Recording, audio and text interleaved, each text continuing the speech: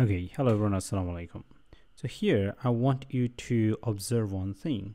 As you see that I hover over here and I see the corners, sharp corners. So this is a button and this over here as I do that, now I don't see any sharp corner here, but both of the buttons are clickable and of course both of them are made with inkwell.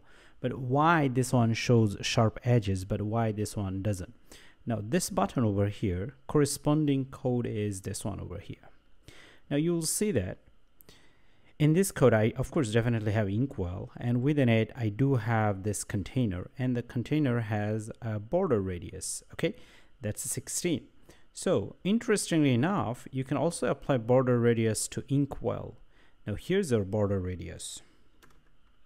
Now let's go ahead and restart our application and now check the magic. So now as I hover over it, the border is gone.